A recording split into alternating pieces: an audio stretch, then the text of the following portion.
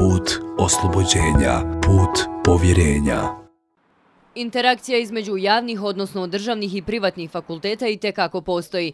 Dokaz za to, kako kaže profesor Dejan Jokić, su i razni projekti koji se rade međusobno. Mi sarađujemo sa svim univerzitetima u Bosni i Hercegovini, širi i sa dosta univerziteta u Evropi, imamo dosta projekata, tako da ta saradnja je izuzetno uspješna. U pitanju su neki Erasmus projekti e, i samim tim također na Burčnom univerzitetu se pravi još e, kao startup inkubator, što je također komunikacija i zajednički rad svih univerziteta u Bosni i Hercegovini. Studenti zajednički grade mrežu koja ih spaja bili na državnom ili na privatnom fakultetu, poručila je studentica Zoljić. Uspješna međusobna saradnja, kaže Zoljić, jedan je od ciljeva i državnih i privatnih fakulteta. Uvijek se misli da možda imaju neki konflikt između javnih i privatnih univerziteta, što uopšte nije tačno. Na primjer, Burč univerzitet sa univerzitetom u Tuzli čak ima odličnu saradnju na brojnim projektima, kako sa firmama, kako sa nekim pravljenjima planova i programa, kao i profesorima. Mi u principu nismo konkurencija jedni drugim jer nudimo različite stvari. To je ono što je jako bitno. Obrazovanje u Bosni i Hercegovini konkretno treba da se uspostavi i e, nekako poveži sa tržištem radom u Bosni i Hercegovini. Na privatnim univerzitetima je to nekako fleksibilnije, dosta se lakše dolazi do toga, dok na državnom nekako gledaju na koji način mogu da e, to uradi, ali nemaju toliku slobodu, nemaju profesor toliku slobodu zato što mora proći dosta procedura, dok je ovdje dosta jednostavniji. Međusobna saradnja kako studenta, tako i fakulteta čini i učenje, ali i općenito obrazovanje mnogo kvalitetnijim. U to se uvjerila i studentica Zoljić, koja je upravo kroz međusobnu saradnju fakulteta upoznala i nove ljude, ali i prikupila mnogo znanja.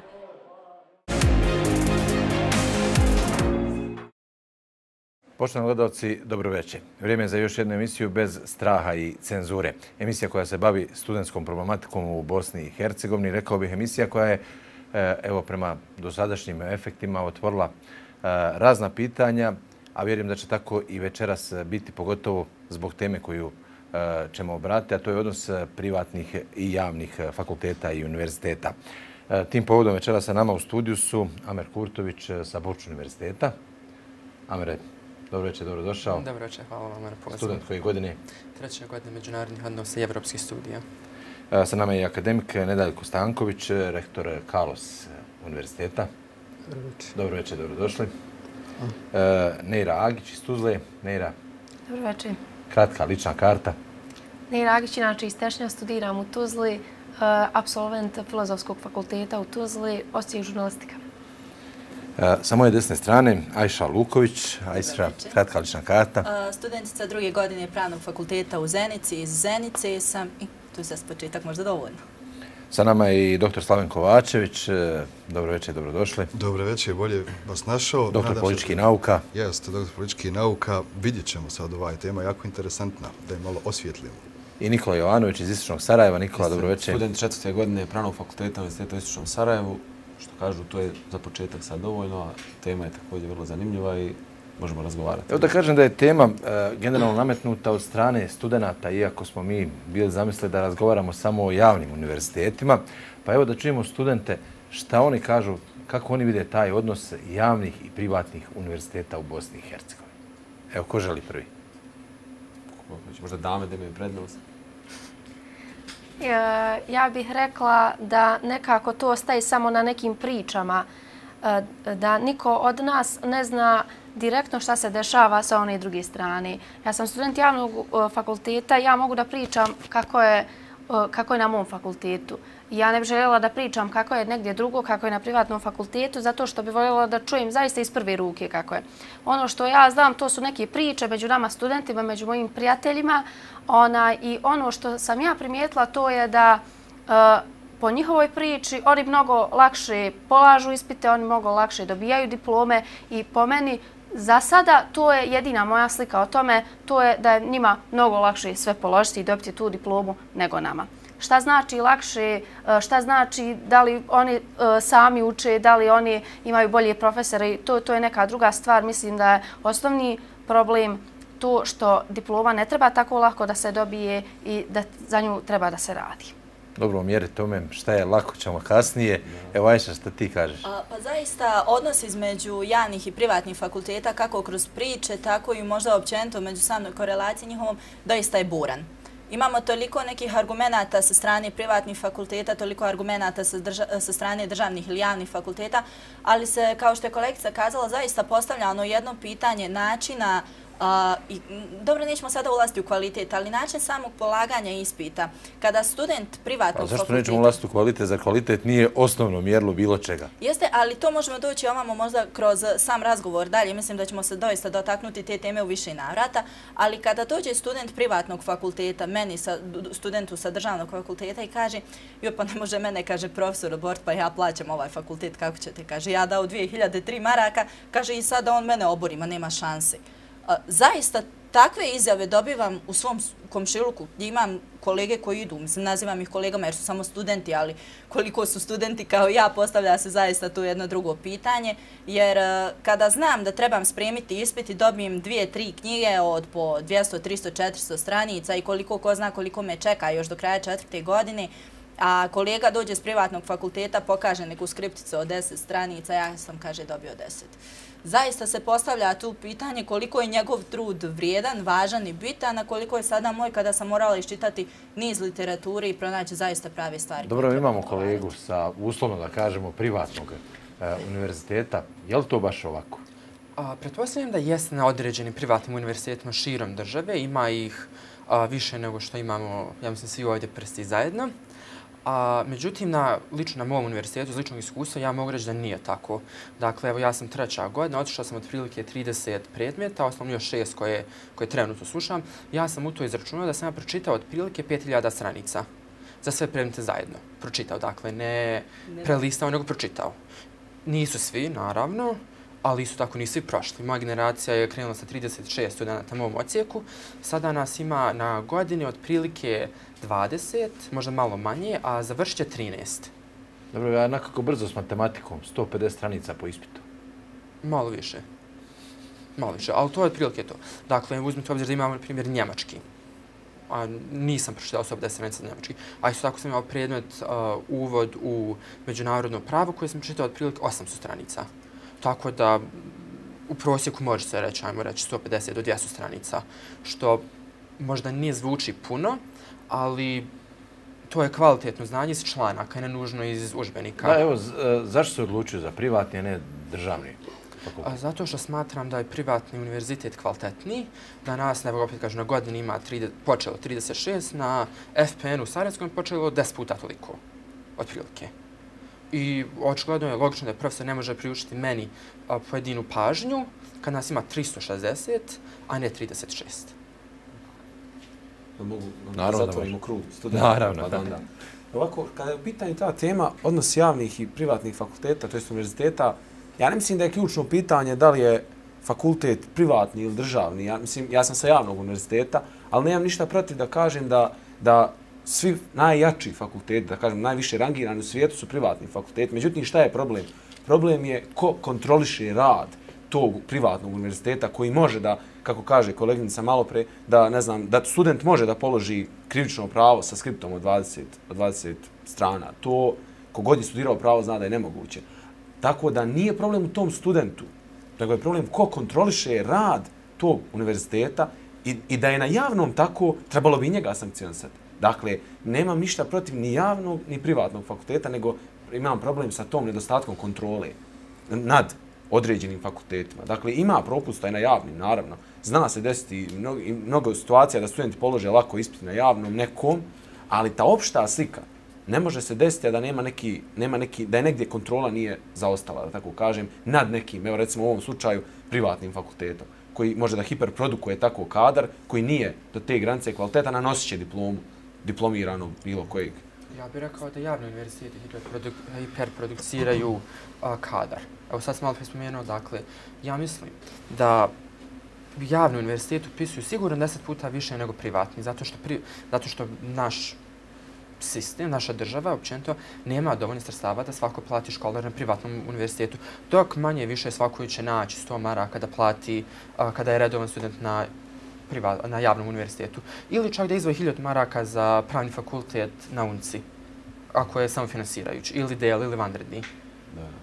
Dobro, evo, Može e, njega, e, samo bih da dodam, on može njegu pisati, ali da li će ga završiti? Da li će on završiti te tri godine i da li će on doći? I kod mene je upisalo dosta studenta prvu godinu, ali koliko nas je došlo do četvrti? Drugo je, ka, drugo je upisati fakultet, a drugo ga je završiti doći do te diplome. Dobro, evo, akademik Stanković e, ima iskustvo i sa privatnog univerziteta i sa javnog, istina više iz Hrvatske, a, ali evo, čuli smo, priča se o hiperprodukciji kadrova, Bosna i Hercegovina je na europskom začelju po broju stanovnika koji završe visoko obrazovanje. Odnosno, statistika kaže da ima 13%, visoko, 13 visoko obrazovanje, mislim da je to 8% visoko obrazovanje, tako da nemamo mi hiperprodukciju. Ali što se tiče javni i privatni, svaka reč koju se izgovori, ona se pamti, ona je ko ptica, ona ode. Znači moramo paziti šta pričamo. Privatni i javni su pred zakonom izjednačeni, na tržištu rada izjednačeni.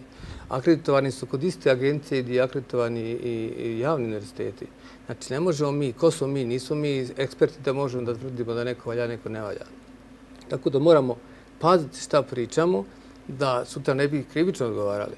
Ja sam jednu profesoricu na, na ekonomskom fakultetu DKNS-u koja je tvrdila da se u Doboju, u Bijeljinu, u Bijeljinu, u Brčkom eh, diplome sumnjivog kvaliteta. Pa ona kao građanin je bila dužna da e, obavijesti tužilaštvo o tom slučaju. A ako već nije obavijestila, znači e, saučesnik krivi, kri, čini krivično djelo. Drugo, ako je to kleveta i zato se odgovara. Znači ja sam proces krivičnog prava i ja gledam i cijenim i moramo paziti šta pričamo. Ne možemo samo da pričamo da bismo nešto rekli, moramo to kontrolisati ono što kažemo. Vaše mišljenje, je li u Pa Bosni ja mislim da se može, Je li ovaj omjer u Bosni i Hercegovini koji imamo e, puno veći broj privatnih e, fakulteta od e, javnih normalna pojava? pa ako pogledamo po broju studenta, javni imaju više studenta. Javni imaju 3-4 puta više nego privatni. Možda i više, možda i 10 puta. Na našem univerzitetu imamo 3700 studenta, a Sarajevski, ja ne znam koliko ima, Tuzlanski ima 8 do 10 hiljada, nekad ima 18 hiljada studenta Tuzlanski. Tako da nije to tako. Jeste, ima mnogo zgrada, ali ne vjerujem ja da ima više studenta. I sigurno da nema više studenta. Ali da se može naučiti, ja sam završio tu Sarajevski fakultet preko puta, gdje je tri zgrade dalje. Ali nauči se može i tamo je ovamo. I tamo se prolazilo, ima profesora koji to lakše puštaju, ima profesora koji teže puštaju. Kod mene, ako se neko može i uključiti, kod mene ne znam da je neko prošao da nije znao. I nema skripte na krivičnom pravu 10 stranica, ja tako skripte ne poznajem.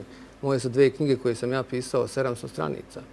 I nema šanse da to neko na, položi da ne nauči. 203 krivična djela najmanje mora da zna da bi položio krivično pravo. Ali ovaj, ja ne tvrdim da se nigde nešto radi i ne radi. Postoji javni dobri, postoji privatni dobri. I postoji i loši privatni i loši javni. To je Da. nešto što je istina. Da, eto tu ćemo nešto kasnije. Svakako, gospodine Kovačević, evo čuli ste studente, čuli ste akademika. A, da pokušamo samo malo organizirati ova, ovu emisiju. Dakle, ja ne predstavljam nikoga, jel, da ne bi bilo ja sad nastupam u ime akademske zajednice ili u ime studenata, dakle, ne predstavljam. Kao doktor političkih nauka. Govorit ću svoje mišljenje. Uh, vrlo je ovo interesantna tema, uh, sa ovako da razmotrite sa, sa jednog stanovišta dobijemo širu sliku o cijelom tom fenomenu. I postavlja se nekoliko pitanja. Prvo, studenta bi volio pitati bilo kojeg, šta je motiv prilikom upisa i odabira fakulteta? Da li ti je motiv znanje ili ti je motiv da lakše nađeš posao? Ako ti je motiv da lakše nađeš posao, ja namjerno sad okrenem, onda tražiš liniju manjeg otpora da dobiješ taj neki papir koji će ti omogućiti da tražiš radno mjesto. Ako ti je motiv znanje, onda ideš tež, težim putem i pokušaš da se školiš u, to, u tom pogledu. E, tad se javljaju problemi ovoga kvaliteta. Ja koliko vidim e, da naši studenti se opredeljuju najčešće za fakultete kako bi lakše našli posao pa znaju čak izabrati fakultet koji ih manje interesira kao neka društvena oblast, pa da bi našao neki posao, e, e, vodeći računa u kakvoj sredini živi, šta se otprilike to traži. I onda u tom nekom svom poimanju onda traži da li je njemu lakše to u rad na državnom, i meni je super što govorite javni fakultet, isto kod da postoje tajne, jel? Na državnom fakultetu kojem upravlja neka društvena zajednica ili na privatnom koji upravlja neko, ne, neka privatnik ili privatnici, jel? I sad on traži sebi la, lakši put s tim što privatni fakultet zahtjeva i novce državni možda i ne. Dobro, neki državni I šta vam se, zahtijeva i šta vam se onda dešava? Kad, ja bih volio da je ovo neko, neka, ne znam, 70. godina, pa da je to taj sistem obrazovanja koji je država stvarno vodila računa, pa je tu su postali kriteriji i tako dalje. I postavlja se pitanje koja je garant kvaliteta. Tako smo počeli nekako emisiju. Garant kvaliteta je ona koja akreditira. ko ti daje akreditaciju da može biti visokoškolska ustanova. On garantuje da si ispunio neke kriterije da ponudiš minimum kvaliteta koji će izaći iz tvoje institucije. Tu se nalazi garant. E sad, jednom i drugom slučaju to je neki državni organ i sad je to u ovoj našoj zemlji koja je jako, jako čudna, jako strukturalno organizirana, komplikovano, onda je recimo Sarajevu to skupština kantona, a recimo u nekim drugim kantonima je ministar. Dakle, ovdje odlučuje 35 ljudi, pa 18 većina, a tamo odlučuje jedan čovjek. I vidite, gledajte kako su to disproporcije. I onda nemojte da, da mi krivimo visokoškolske ustanove, bilo one javne ili, ili privatne, da su oni nosioci boljeg ili lošeg kvaliteta. Odgovore na neko daje akreditaciju. I kako se dobija ta akreditacija? Kako se, šta je na kraju konačna posljedica? Tamo gdje država stoji iza fakulteta, tu je evidentno uključena politika. Na bilo koji način. U Sarajevskom kantonu posebno, jer kontroliše finansijske tokove i kadrovsku politiku. Na privatnim univerzitetima i fakultetima, očigledno da je njima, njih, njima interes proizvod koji oni nude, a to je transfer znanja, i da kroz taj poslovni ambijent pokušavaju da privuku mušterije ili klijente na svoj fakultet, ali su depolitizirani. Pa sad kad pravite šta je dobro, šta, šta je loše, svašta tu nešto može izaći. Posebno na grupaciji društvenih nauka. Znate, tu politika jako ima duboko, duboko utica i otprilike tako oblikuje ljude. Dok na prijatnim fakultetima nekako relaksaranija atmosfera. Bez obzira na ove uh, izjave da je tamo lakše položiti ispit. Ja mislim da ni, nisam siguran i s ovim ću završiti. Ajde da razmislite kako izgleda sistem nastave na državnom fakultetu i na privatnom. Da, o tome iz, iz, iz iskustva govorim. Dakle, na privatnu ćeš morat neki laptop ponije, pa neku prezentaciju, pa govoriti o nekoj vizualnoj formi i to sve pripremiti. Na državnom fakultetu dođe na profesor, stavi, stavi knjigu i 45 minuta čita svoje knjige, pomako se čovjek nije, i zatvori knjigu, izađe i onda vas to hoće pitati. Kakav je to transfer znanja u odnosu na ove savremene tehnologije? Da, evo, ono što je uvriježena pojava u Bosni i Hercegovini, a to je da jedan značajan broj profesora uh, sa državnih fakulteta u isto vrijeme predaje i na privatnim fakultetima. Uh, jesu studenti upoznati s tim? Jeste li ikad razgovarali s profesorima da li postoji razlika u načinu njihovog predavanja, kriterijima. pitate, e, ja mislim da tu nikakve razlike ne bi trebalo odguditi. Zašto ne bi profesor predavao kod, kod nas na univerzitetu i mi kod njega? Što se tiče javni i privatni, samo je razlika u osnivaču. Samo osnivaču. Kod javni je država, kod privatni je grupa i pojedinac. Ali što se tiče predavanja na našem univerzitetu, možete naći na stranici tačno kad počne predavanja, kad se završava, koji profesor, koliko traje. Boga mi na javnom to nećete naći. Nećete naći. Nećete da, evo, ali uh, djevojke koje su radile istraživanje u Tuzli kažu da su uh, u Kalosu uh, tražili kad mogu pristupati predavanju, nisu mogli da dobiju odgovor u svrhu istraživanja. Koje, koje, dajte mi ime. Dajte ime ko je to istraživo i ko nije mogao pristupati. Ja nikad ne pitam na mojim predavanjima ko je moj student, ko je došao sa strani. Mi to interesuje. Svako može da prisustuje na bilo kom predavanju. Tako mi se treba bude i na svakom predavanju. Ja ne znam sve studente. Ja ne znam sve ni profesore, a kamo li sve studenta. Mi imamo negdje preko 430 profesora na dva univerziteta, kako bi ja znao. Ne znam više da li je to kolega ili student, Ili ima dosta mladi ljudi. Tako da ja to ne poznajem. I kad neko dođe na predavanje od njih 60-70, kako ja znam ko je ko? Mogu biti student sa bilo kog univerziteta. To je, to je neko rekao ko ne, nema odgovornost, tako da, da, da kaže pa je nešto izmislio.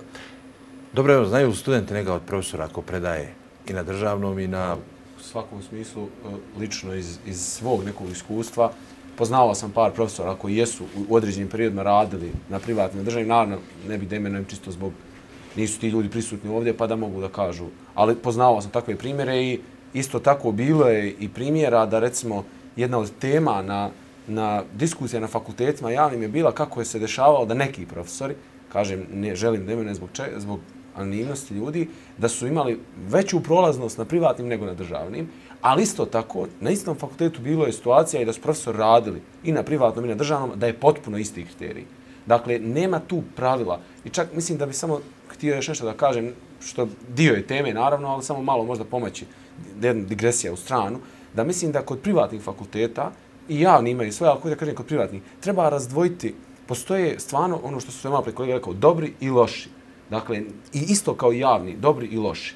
Ali šta je problem, šta se desilo ovdje? Desila se situacija da je bila velika količina ljudi koji su već bili zaposleni i radili u određenim institucijama, organima i slično, i kojima je došla takva sistematizacija radnih mjesta da moraju da imaju određene stepen kvalifikacije i oni su nastali, kao oni su bili pogodno tržište za određene ljude koji bi otvorili privatni fakultet i dali im šansu da brzo steknu taj dokument. I oni su zbog toga A možda... zašto ta riječ brzo? Pa zato što tim ljudima, ti ljudi koji su tržište, ti ljudi koji su zaposleni, to su većinom bili stariji ljudi, mahom stariji ljudi koji nemaju sad, da kažem, ni volju, ni vrijeme da uče, da se posvete tome, nego im je brzo, da kažem, trebalo, opet ponavljam, brzo zbog toga. Ali šta je problem? Nije, nisu takvi svi privatni univerziteti bili, ali ima određenih univerziteta koji su iskoristili tu mogućnost da ljudima treba sad i odmah taj papir i zloupotrijebili tu situaciju. Na koji su način došli? E to je opet ono što je gospodin rekao, e, problem je na koji, na koji je njima omogućio da takvi ljudi koji su, ponavljali ponavljam, lovatori na te, na te ljude kojima treba diploma, koji im je dopustio da mogu da otvore univerzitet. Nije daleko od toga da su oni svi privatni takvi, naravno da ne. I baš zbog toga ti ljudi su loša reklama ozbiljnim privatnim univerzitetima koji imaju ozbiljne namere, ozbiljan transfer znanja. E to sam samo htio da kažem kao jedno od da kažem, vrlo bitno. Evo, student sam to prošli u svim emisijama pitao, evo i sad ću vas e, pitati. E, postoje mjerila vrijednosti fakulteta, neću reći samo u Bosni i Hercegovini, nego i na međunarodnom planu.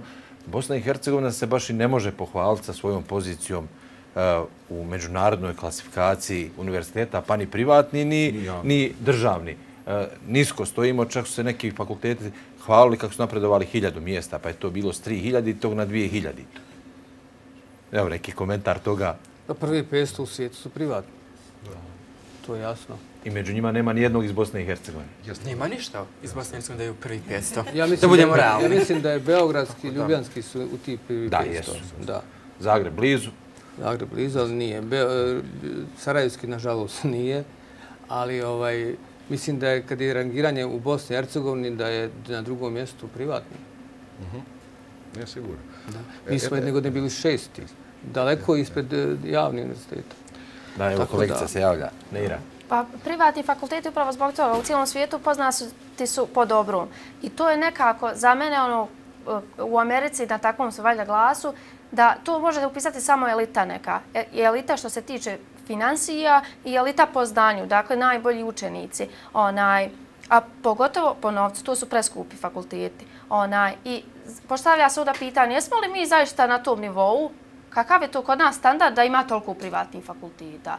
Jesmo mi zaista toliko finansijski moćni da mi možemo, ono, da, da toliko studenta može da upiše privatni fakultet? Dakle, tu nešto onda nije u redu.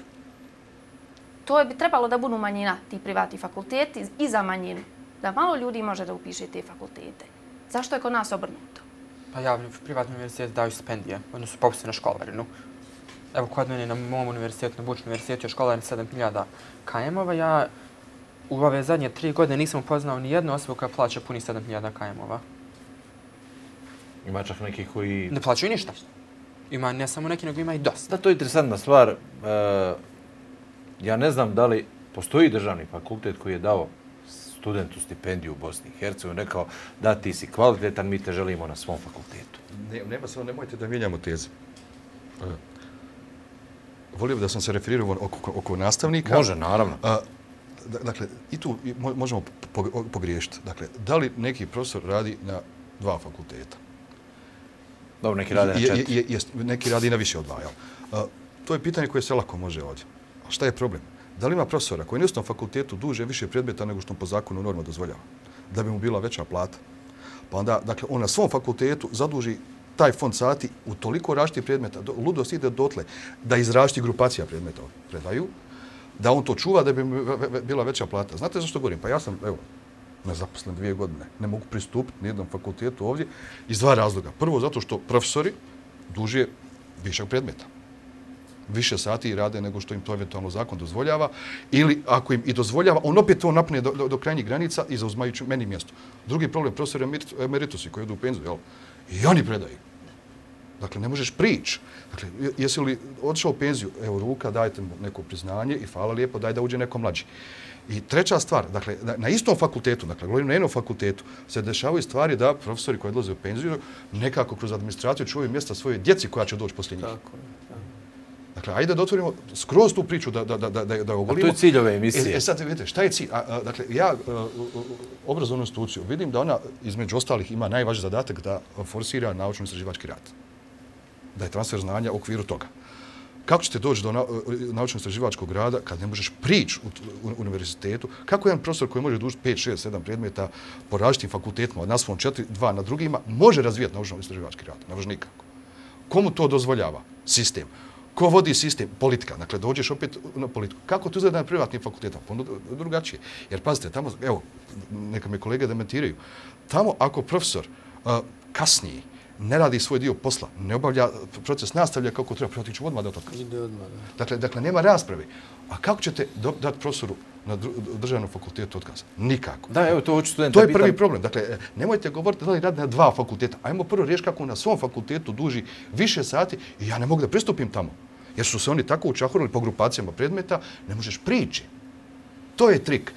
E, ko im to omogućava? Zakon očigledno da ona koja je vlast mora računati da pravi tu jednu kvalitetnu organizaciju sistema obrazovanja, posebno na jednom fakultetu, gdje ja mislim da to privatnici rade puno bolje kvalitetno. Da, evo, to smo uh, u emisiji prošloj načeli to pitanje uh, mogućnost studenta je da ocjenjuju svoje profesore kroz uh, anketu, daju mišljenje i to je čak obavezno. A ono što je problematično je da ne učestvuju u tome svi studenti, a na državnim fakultetima je problem što ne postoji povratna informacija e, sa ankete. Dok sam ja pripremiti za ovu emisiju e, našao primjer s jednog e, privatnog fakulteta da je na osnovu ankete i pridužbi studenta profesor dobio otkaz. Je interesantno. Bojim se da ćemo, mislim, kada komuniciramo u našem društvu i okolini u kojoj stanujemo, razvijaju se predrasude. Da li kod mene kao studenta sa javnog fakulteta, odnosno državnog predrasude prema studentima sa privatnog fakulteta i obratno. Naprosto dođemo u situaciju da se mi popriko gledamo što ne bismo trebali, zato što je potreban dijalog naprosto o svemu tome. Kao što je doktor kazao, kada posmatramo obrazovanje, evo govorim striktno sa svog fakulteta, naprosto tu sam i učestvujem u svemu.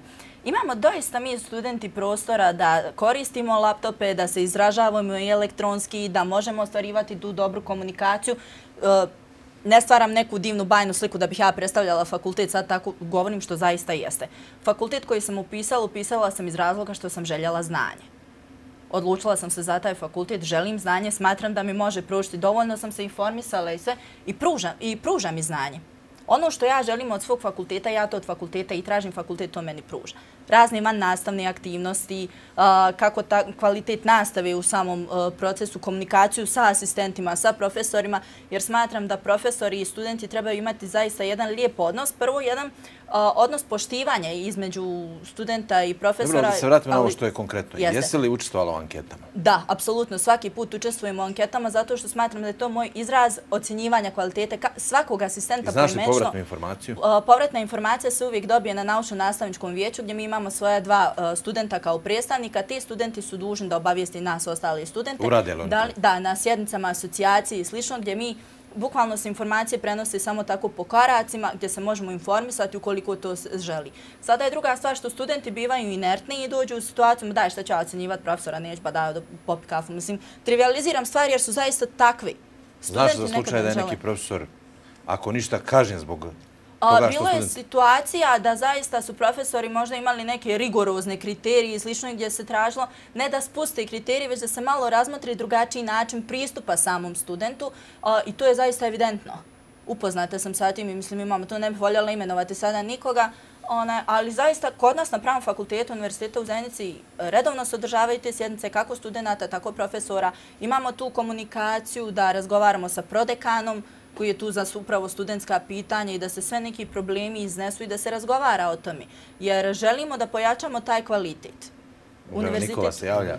Pa da, čisto da da ispričam iskustvo, da kažem, sa našeg univerziteta. Prvo, na našem univerzitetu postoji čitav komitet koji, koji je zadužen za kontrolu dakle, kvaliteta studija i onda on organizuje studentske ankete po svim fakultetima. E sad, što se tiče statusa studenta u tim anketama, pod jedan, Prvo, imam lično iskustvo. Dakle, e, student jedan mora biti član komisije, anketne komisije. Dakle, tu su predstavnik e, administrativnog osoblja, predstavnik akademskog osoblja, dakle, profesor asistent i jedan student. Dakle, nemoguće je da neko pristupi na bilo koji način anketiranju, a da, a da nije student bio. Dakle, da student pristupi anketiranju, a da student nije bio tu da nadgleda, dakle, da ne bi njegova prava bila ugrožena. Zatim, kad su pitanje rezultate ankete, e, mi, kod nas anketa e, koncipirana na taj način da vi kada, kada se ulogujete u anketni taj program, da tako kažemo, dobijate šifru. sa tom šifrom na kraju, kad prođe anketa gdje bude obaveštenje na sajtu, kad prođe anketa, vi imate mogućnost da ponovo sa tom šifrom pristupite i vidite rezultate cjelokupne ankete, koliko koji je profesor dobio koliku ocjenu. Neki, neki podaci nisu dozvoljeni studentima, nego dobija samo profesor ta i to je uprava fakulteta, ima i uprava univerziteta, ima mogućnost da... Molim? Je li to u redu ako se radi anketa? E, moje lično mišljenje je da nije. Moje lično mišljenje je da transparentnost treba da bude još veća. Ja sam se lično na svom univerzitetu čak i zalagao, ne sam, nego celokupno naša studentska organizacija, bila je čak zalagala se da to da najbolje i najlošiji ocjenjeni profesor, da to bude javno prikazano. Dakle, nek piše da je to subjektivni studentski stav. Dakle, da ne bude da ga je neko kvalifikovao ko nije stručan za to, dakle, ne to, ali svejedno da bude kao, ali međutim to ipak ne može proći zbog nekih drugih, da ne kažem neformalnih snaga, moći koje jednostavno niste dovoljno jaki da u tom trenutku to promijenite. Ali u principu mislim da i na ovaj već postojeći način, dakle, studenti kako mogu da se izraze, uvijek može bolje, uvijek može više, ali nije baš, recimo, kažem na Univerzitetu Istočnom Sarajevu, nije baš tako da studenti ne mogu da, da uopšte ocijene rad profesora i e, zadnja nije komponenta... Nije rekao da ne mogu, zakonska da, da, da, obaveza. Da, da, da, a zadnja komponenta koju ste rekli da se, što se tiče rezultata, Da li to daje rezultate? Naravno da daje, zato što svaki, svi rezultati vijeća dođu u naučno-nastavno vijeće, dakle fakulteta, i diskutuju se rezultati, s tim što naravno e, posebno se naglase ako je potrebno da sa nekim profesorom, recimo to što je kolegica govorila, da se možda promijeni pristup, da se malo, e, da se malo, da da kažemo, taj odnos između studenta malo i profesora malo pojača, ne u smislu nekog smanjenja kriterija, nego jednostavno da se da to bude malo korektniji odnos i dekani imaju i obavezu, a i volj na našem fakultetu je bar to u redu, da profesor, da dekan razgovara sa određenim profesorima ukoliko stvarno studenti imaju problem. Tako da taj anketiranje nije baš toliko, bar za naš univerzitet, tako loše kao što se kao što ste rekli na početku.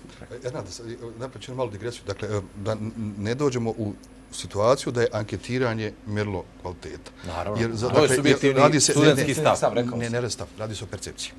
Jer vidite, evo, kolega je spomenuo međunarodno pravo.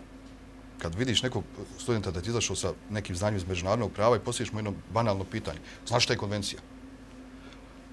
Evropska konvencija, recimo, za zaštitu ljudskih prava, pa ćemo znati da je ona 53. potpisana, potpisala toliko zanimljiva. Znači, šta je konvencija?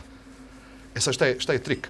Možeš mu jako atraktivno približiti šta je konvencija, napraviti jedan mini, minijaturni uh, igrokaz, kako ćeš mu približiti šta je u, u, u klasifikaciji međunarodnih dokumenta, šta je to, kako to nastaje i da se ti njemu svidiš i da on tebi na, na bazi atraktivnog predavanja da visoku ocjenu. A da li to znači da dobio kvalitetno znanje? Ne mora značiti. Jer će to onda možda on pustiti na ispitu lakše nego neki profesor koji dosadno predaje i teže te ocjenjuje na ispitima. Pa će taj profesor koji je možda dosada manje atraktivan, a težak za položiti, dobiti manju ocjenu. Dobro, fakultet su tu zbog studenta. Da, a slažem se. Ali se radi o tome da opet ustanove koje akreditiraju moraju garantirati kvalitet. Ovo ocjenjivanje da studenti ocjenjuju profesore, pa da na bazi te ankete neko može dobiti otkaz, je jedan od kriterija. Ali bi bilo dobro da se tu pogleda ovaj kriterijski eh, eh, kriterij koji tiče, koji tiče kvaliteta, šta nudiš kao konačni proizvod? Da li ono što odgojiš i ponudiš društvu zadovoljava kriterije koje postavlja društvo opet kroz neku društvenu Da, vraćamo se. To tržište rada odlučuje. To je tržište rada odlučuje, apsolutno. I tu ne treba ni jedna... Znači, što vi predlažete u suštini, ako sam dobro shvatio, da se da na svakom univerzitetu, svakom fakultetu, na svakom predmetu u državi bude jednak ispit da se pita o iste stvari, sve to. Ali šta govorite o našem da... tržištu rada ako imamo podatke da više od 50% mladih ljudi ne radi? Ne možeš govoriti o tržištu rada ako je sve isto onda to tržište ne postoji. To mora da. biti različito da bi postalo neka, ne, neki ulazni elementi konkurencije, jeste da bi ti onda mogu biti vršiti odabir, da, da. mogu nešto birati, ali to je tržište. Jeste, u redu, ali ono što svi pre, prvobitno govorili u vezi sa različitim kriterijima profesora, da. ukoliko ja kao profesor nemam različitu kriteriju od vas, Dobro. onda nije bitno ko je profesor uopšte, nego je bitno ko pravi ispit i ko pravi ovaj učbenik ili piše članak ili šta već nisam vas baš najbolje razumio. Dakle, važno je ko pravi ispit da, ukoliko u, u kojem je, smislu? Ukoliko je kvalitet, ako se mjeri kvalitet na osnovu toga, uh, kao šta je, šta je finalni produkt, to jeste kakav je, kako znanje se ne posjeduje. Dobro. Dakle, ne možemo to mjeriti na osnovu predavanja i ispita koji profesor, ja pretpostavljam, pravi, a asistent ocjenjuje, nego na osnovu jedinstvenog ispita koji se na svim predmetima, istim predmetima u državi daje i koji se naravno isto ovaj, ocjenjuje. Pošto to onda to jedinstveno mjerilo. Nije, ne radi se jedinstveno. Da, evo sad, ono što ću vam sad, uh, ono što je tačno u Bosni i Hercegovini, a, a to je da se trenutno nastavni planovi i programi u stvari ne akreditiraju. a trebalo bi agencija to još nije počela rad i postoji strašan otpor upravnog odbora agencije koji je prije svega politički da se to radi. To je trik. To smo mi raspravili na, na rektorskoj konferenciji i u stvari, nažalost, E, predstavnici srpskog naroda ovaj, treba da se neke smjernice usvoje, nisu zato da li je to politika ili nije. Međutim, mislim da Univerzitet Istočnog Sarajevo već je istekla akreditacija, ističe već sljedeći, za par mjeseci neće biti niko akreditovan institucionalno, a kamoli ovaj programski. U Beogradu se, gdje mi imamo isto univerzitet, akredituje odma i programi. Odmah se akredituju, a nauka se akredituje tek posle godinu, dvije dana gdje se radi, gdje se vide kakvi su profesori, da li su kompetentni profesori, kod nas se to još ne gleda. Da li može neko da radi na doktorskim studijima, da nije napisao... Ali kažete, ne znate politika, ali šta je, e, ko koči ovo? Je li to veliki broj privatnih, je li državni ne odgovara? Nije, nije, nije. Zašto se ne akredituju? Pa jednostavno, kod nas u Bosni trguje se time. Trguje se. Ja ću to da uradim ako imam nekakvu korist. Ali nema nikakvu štetu, ali neću da vam to uradim zato što mi nije interes. Čekat ću da mi nešto učini pa ću ja da dignem ruku da, profesor Alilović je nama, kad su imali dipu sastanak, rekao da ima problem, da će doći situaciju da neće biti niko akreditovan ni institucionalno. Zato što istekle su akreditacije, ne može se ide dalje i već stoji. Već stoji veliki broj zahtjeva za akreditaciju, nema. Šta znači za studente ako isteknu akreditaciju? Pa, da vam kažem, evo, svi smo mi završili fakultete koji nisu bili akreditovani. Šta je, naše diplome ne valjaju? Akreditacija je to postalo posljednje 3-4 godine. A što je pre bilo? Nije bilo niko akreditovan. A što će nam agencija? To je to da se, da se bolje, da se usavrse, nas neko kontroliše. Mora biti neko mjerilo. Šta će biti mjerilo A ne bi bilo te agencije da nije bilo privatne univerziteta. Oni su napravljeni zato što su privatni pa se nekako kontrolišu. Pa su upali u to i javni. Prije toga nije bilo. Ja sam završio ovdje, ni kakva akreditacija, to nikad niko nije spominio. I kolega, vjerojatno svi mi koji smo stariji nismo imali akreditovani univerzitet. Kako je evropska praksa? Pa i kod nije to u posljednje vrijeme. Nije bilo. Ja sam u Beču radio 20 godina. Ni tamo to niko ne spominje. To se kod nas puno priča, diže se prašina oko toga. Ne je to tako. Da vam kažem da je u Beču lakše završi fakultet nego ovdje. U Americi e, ima dosta prijatelji, tamo sam, ja sam u, u Torontu doktorirao na sportu, ali tamo, e, vjerujte da jedna moja koleginica kaže da ima čerku koja studira na nekom koleđu, da je nikad nije vidjela da uči, ali da nikad nije ni pala. Znači, drugačije su tu kriterije. Da. Evo, ja ću vas samo, samo nastavit ćemo, samo da mi obavimo svoje obaveze prema uh, našim uh, sponsorima, pa ćemo se vratiti u emisiju.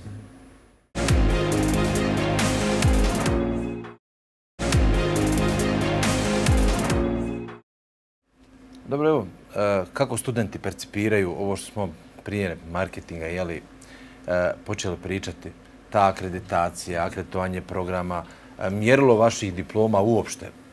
Samo sam htio da jednu repliku da kažem da uh, Univerzitet Istočno Sarajevo je u procesu reakreditacije. Dakle, bukvalno u zadnjih mjesec, dva se pripremala dokumentacija. Nema, ne može se završiti trenutno zbog političkih problema. Dobro, dobro, Niko nije rekao da... vi ne valjate. Ja, profesore Stojanovića, profesore, znam, znam sve. Ne, ne kažem da ne valjate, nego jednostavno je zakočilo i nećete biti akreditovani dok ne krenu svi zajedno. Nažalost je tako. Ja sam samo htio reći da je univerzitet što je na, na univerzitetu je urađeno je sad taj daljnji proces politički. Što što studenti misle, da li je dobro da ta agencija zaista napravi kriterije da oni budu uh, mjerlo i za privatne i za državne, da se tu, da postoji jednostavno mjerlo kvaliteta? Pa to opet sve zavisi od toga uh, ko će uspostavljati kriterijume i da li će, da li će se ići fair i iskreno u to da dobijemo jedno kvalitetno obrazovanje u državi ili će se opet ići u neko politikanstvo, u neko sticanje nekih ličnih interesa. Ako će se to dešavati, to onda nema smisla jer to ne bi bilo ni prvi put da se u Bosni i Hercegovini to ta, na takav način dešava. Ako će se ići u stvarno fair i korektno uspostavljanje jasnih kriterijuma koji će obavezivati svakoga, to je ono najvažnije, zakon postoji samo onda ako se odnosi na sve. Dakle, ako postoji neko ko nije vezan na zakon, ne postoji taj zakon. Tako da, ako se, ako svi univerziteti, bilo privatni ili javni, budu morali poštivati određen stepen kriterijuma i stvarno ih se bude kontrolisalo da li poštuju i javni i državni, to jest i privatni, mislim da to nije uopšte sporno i nije problem. Da postoji jedni jedinstveni kriterijumi, naravno dovoljno abstraktni da ih svi mogu ostvariti, to uopšte ne bi bio, prema mom mišljenju, ne bi bio problem. Ali važno je da budu jasni i da budu u cilju ostvarenja tog kvalitetnog obrazovanja na koje svi, kojem svi težimo i koje, koje nas sve zanima. I samo sam htio još, još jednu još jednu koja je, opaska koja ide uz, e, da, da mislim da čak ono što privatni fakulteti rade bolje nego državni.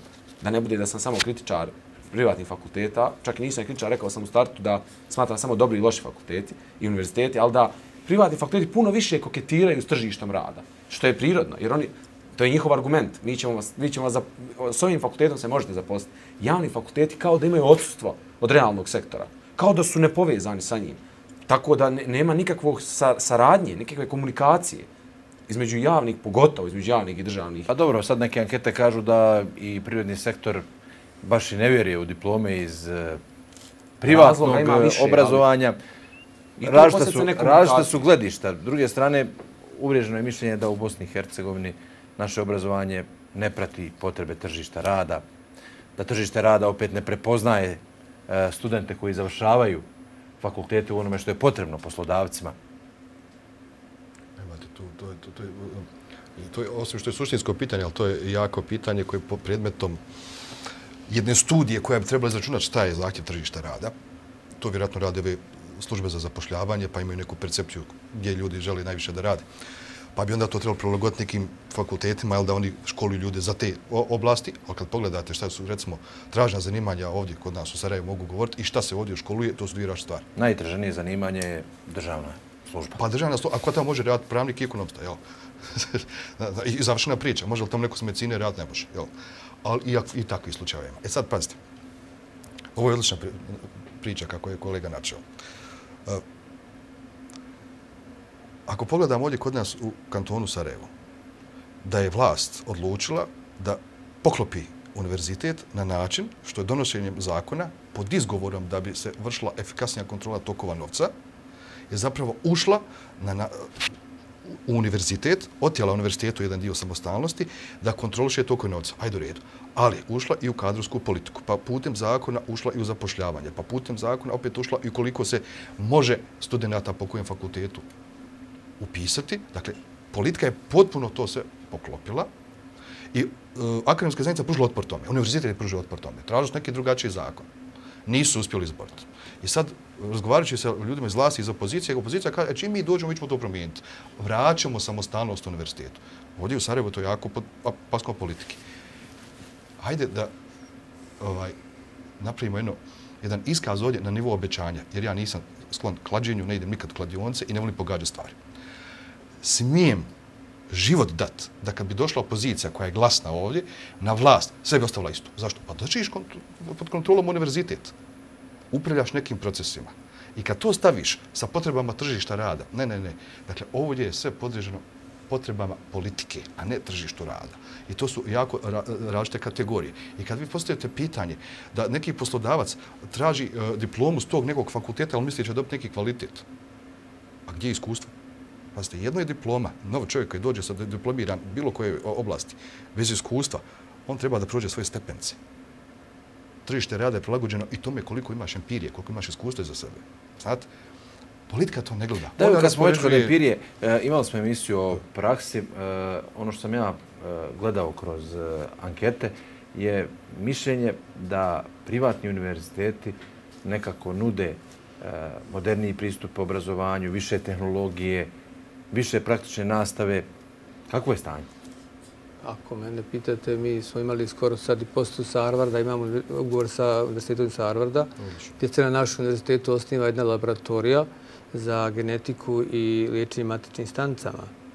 I tu će raditi naši profesori, profesori sa Harvarda i uključeni institut iz Kelna, tako da veliki dio ćete tu steći. Drugo, ako gledamo na privatne i javne kad je pitanje doktorski studij, ja ću se obreći na Kalosu kako je, 12 doktor, doktorskih studija upisali su ljekari sa UKCA Tuzla, nisu otišli na javni, nego su došli kod nas.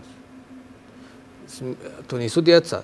Da, velika se polemika vodi u javnosti oko toga da li medicinski fakultet treba dozvoliti privatnoj. Pa ja mislim zašto da ne. Ako ispunjavate uslove, može svako doći kod nas, vrtite pogleda našu opravu. Preko milijoni 150 evra je uloženo. Mi smo jedini u regionu koji imamo tu opremu. Ne u Bosni i Hercegovini, u čitavom regionu bivše Jugoslavije. Jedini imamo kadavere, jedini imamo te opreme koje, koje nema niko drugi. Ovi sa Harvarda kad su došli nisu ni slučaju nas izabrali. Zašto bi izabrali nas da ako, ako imaju bolje? Oni su došli kod nas, proveli su 15 dana, dolaze sad ponovo u augustu, dolaze i kreću sa laboratorijom u septembru. Znači nije to slučajno. Pa, e, smatram da ne bi trebala praksa da se mjeri samo po tehnologiji i tome.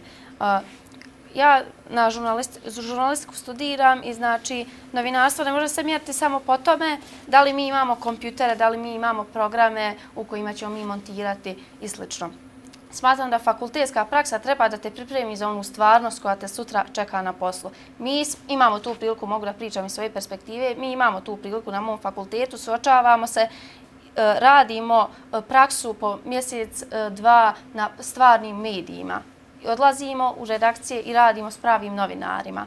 Mi radimo i na fakultetu. Mi radimo to sve sa našim profesorima koji su isto novinari, sve mi radimo to i na fakultetu. Mi imamo i opremu koja je zadovoljavajuća za neke naše potrebe. Ali mnogo je bitnije to da li ćemo mi otići u, u mediji neki i raditi konkretno ono što nas sutra čeka. Isto tako smatram da bi trebalo da bude i na ostalim fakultetima. Da li budući doktori mogu sve naučiti na fakultetu tu istom opremom. Da li možda oni treba da se suoče sa stvarnom bolnicom, hitnom i tako dalje? Pa oni rade, naši, naši imaju ugovore sa UKC-om. Da, to je obaveza. To je obaveza, to bez tog se ne može. Sa institutom Vinča u Beogradu, sa Svetom Muralu. Mi pričamo o prohodnosti studenta, radim studenta. To sam ja sto puta rekao. Prohodnost je jednosmjerna. Svako će iz Sarajeva, Tuzle, otići za Beč, London ili Ameriku. Ali ko će doći iz Londona u Tuzlu, Sarajevo? Niko, ljudi. Da se ne lažemo. Pa to je jednospena prohodnost. Nema tu ničega.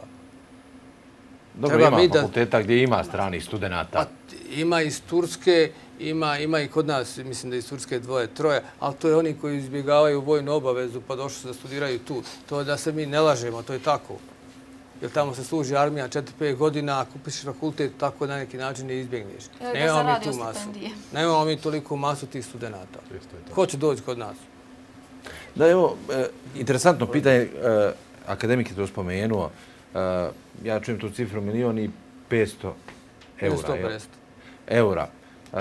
Zvuči onako impozantno, ali ja spadam u ljude koje to ne impresionira. Objašnjam zbog čega. E, šta je za državu milijun i 500 eura? Evo da uloži u državni fakultet ako želi dobro znanje. Da li su studenti ikad pitali predstavnike vlasti, rektore, dekane, zašto se ne ulaže na fakultete? Uglavnom novac koji se uloži ode na plate. Pa zato što javni univerziteti jednostavno nisu profitabilni. Zato što ja koji studiram na privatnom fakultetu i dalje izvajam novac, odnosno Zove, izvaja se praksi u Sarajevu, novac, ja ne bre, praksi u Sarajevu ne kaže da nisu profitabilni. Postoje rašte plate profesora na fakultetima, nije, to stoji, nije univerzitet integrisan. Zašto onda univerzitet u Sarajevu ne može samostalno poslati, nego mi je potreban budžetski novac? Nije tačno. Kako nije tačno? Imate fakultete koji su jako profitabilni. Fakulteti, univerzitet općenito. Imate isto ako što imate fakultete koje jesu... Jel vi mislite da univerzitet da živi od dotacija iz, iz vlasti, ovaj univerzitet u Sarajevo je ovdje, jel? Od budžeta, nisam vas igrao, dobro. Imaju, imaju budžet, imaju plus to neke komisije, naknade, imaju, imaju... Jedan procenat je za... 28 miliona je Tudanski kantun, od profesora sam ja čuo na jednoj emisiji, izdvoje za, za javni univerzitet u Tuzli. Znate koliko je to novaca? To je samo za plate. Samo za plate, Za plate. A, mi... ovo ja akademik ću da kažem, država ako hoće da uloži u znanje, privatnici će teško biti konkurentni. Za jedan kanton milion i pesto, pa i manji kanton, pa ajmo objektivno. Pa državi je svejedno ko će da školije studente, da li privatni ili javni.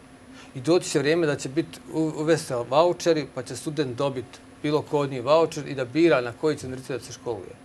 I to bilo najrealnije. Zašto djevojka mora da studira u Sarajevu ili Zenici, mora ide, ide u Osijek, mora ide u Beograd, mora ide u London. Znači dobit će potvrdu, dobit će ček da plati da se školi djevojče. Ali evo Zenica je interesantna, tamo nema privatni, visoko obrazovani. Pa ima travnik. Tu blizu, pa dobro, tu su susjedski odnosi ovdje kod nas. Zenica pored travnika, jel? One, zaista, evo, mi nemamo niti jedan. Bilo je nekih govora kao da će u Kaknju biti osnova neki privatni fakultet, ali to je možda više bilo onako neka priča u magli istog ništa nije izrođeno. Zaista u Zenici nema niti jedan privatni fakultet. Sve studenti što idemo, idemo ovdje na državni Ima li studenta koji idu na privatni, koji idu u travnik? Ima, ima, pa lično ih ja poznajem i nekoliko, ali u većini slučajeva mogu da garantujem, to je ona, sada što sam vam kazala, jedna e, predrasuda e, za privatne fakultete. Svi ti studenti koje ja poznajem, a koji su otišli na privatne fakultete, su bili ovdje kod nas na državnom fakultetu, na univerzitetu u Zenici, nisu uspjeli da polože ispite i slično i otišli su na privatni fakultet. Našli su kao tu neku manju liniju otpora. Ne kažem da postoji privatni fakultet koji su zaista fascinantni. Sa svim tim što vam pružaju da možete ostvariti svoje znanje i da možete se iskusiti i u praksi i slično. Pogotovo kada imate prirodne znanosti koje su zaista potrebne za to. Evo, ako ćemo posmatrati malo i praksu i sve što smo pominjali, kod nas na pravnom fakultetu, čak od druge godine mi posjećujemo općinski sud, kao jedna prva sudska instanca. Mi se već direktno tu u manjim grupama, jer su sudnice kao takve, povezujemo i sa sudijama i sa advokatima koji tu dolaze ili predstavnici advokatskih kancelarija, pratimo kako jedno suđenje izgleda, kako naprosto ide, a tek ćemo na trećoj četvrtoj godini u okviru nastavnog plana i programa dobiti svoje predmete koje ćemo morati pratiti kao na vježbama i prati se naša prisustva i sve, kako bismo mi mogli osjetiti tu živu pravničku materiju. Tako da po pitanju prakse imamo zaista ovu, imamo dobar taj primjer. Ja se pravo samo nauči u sudnicama? Pravo se uči i u školskim klupama, u fakultetskim klupama i u sudnicama. U privredi. U privredi, gdje god se okrenite, vama pravnik treba, apsolutno. I tako da je zaista A idete samo u sudnice, to už da kažem, jel samo u sudnicama? Sada idemo samo taj stepen, ali poslije se mi upoznajemo i dalje i čak imamo mogućnosti da se radi prakse u Skupštini Zenčko-Dobojskog kantona i sve to imaju studenti na raspolaganju. Sad je samo pitanje koliko će se studenti prijaviti, koliko žele to da prihvati. Šta žele sami od sebe. Na kraju vjerujem da ćemo mi doći do zaključka na kraju naše emisije da je u stvari samo bitan onaj jedan pojedinac. Šta on želi od sebe i koliko će on ulagati u sebe. Bojim se da bosansko-hercegovačka atmosfera takva omađijana politikom i da u što god mi pogledamo i što god dirnemo, iz toga izvire politika. Kada, bismo, kada bi se ta jedna situacija malo promijela, sigurno bi i zdravstvo i obrazovanje sve išlo na bolji ovo što ste pitali, da li bi uh, ulaganje u jedan državni univerzitet zaista od uh, milijoni i 500 eura ili maraka svejedno uh, rezultiralo nabolje? Definitivno da bi. Ali se postavlja pitanje zašto im nije u interesu? To ni studenti ne mogu da dokuće. Zašto nekom nije u interesu toliko ulagati? Pa zar nisu obrazovani ljudi u stvari najbolji? Evo šta kaže doktor politički nauka, zašto policija nije u interesu dobiti kvalitetan, obrazovan kadar? Pa zato što je konjačna posljedica koju politika želi proizvesti sljedeća malo smo prije emisije imali uvodu, ja ne ulazeći bilo kakva demokratska prava i demokratska načela, principe. Dakle, vi znate da se ja zalažem za potpunu demokraciju, da svako ima pravo da glasa i da bira koga god hoće da svako kandidira. Ali šta je posljedica? A posljedica je da imate ljude koji nisu obrazovani za taj politički posao. I tu nastaje prvi problem. I naravno da sam ja svjestan da je nemoguće da u jednoj skupštini kantona, parlament federacije, parlament Republike Srpske, ali državnom parlamentu sjede sve poltolozi. Nemoguće je to.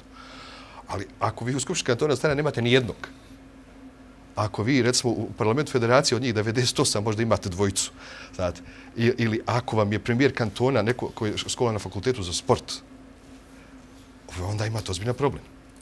Ako ovaj, eh, imate takvu tendenciju da vam se kandidiraju, ja pravim od toga stvarno jednu anegdotu, jedan mali igre, igru kaz, dakle, ja bi možda mogao snimiti film, znači, nekog producenta i da ja snimim film, i eventualno ga niko ne bi gledao. Jel, neće otići u kino ili ćeš prebaciti kanal, posljedica prema, prema tebi je nikakva.